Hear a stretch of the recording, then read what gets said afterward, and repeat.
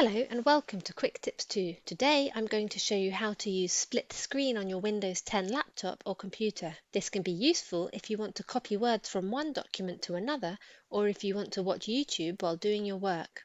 So, open the first application, let's say Internet Explorer.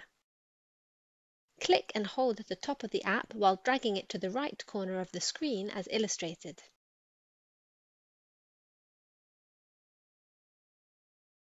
Release your hold.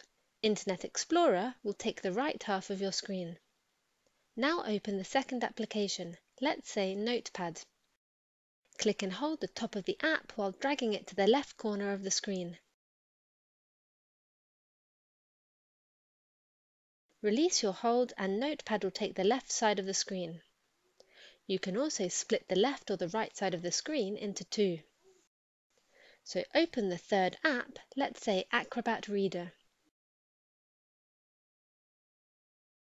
Click and hold the top of the app while dragging it to the bottom of the right corner as illustrated.